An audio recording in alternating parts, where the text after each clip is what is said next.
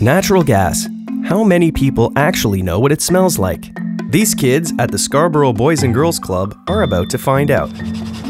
I can already smell it. Oh. Oh. Oh. Ah, I told you. What does it smell like? It smells very weird. My baby brother's pill. Rotten eggs with a touch of barf. Like something in the garbage. Like moldy stuff. Actually, it's natural gas. Oh! Natural gas stinks.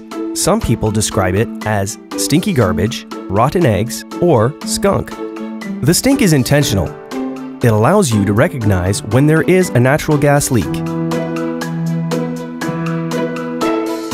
Don't turn the lights on or off. Go somewhere safe.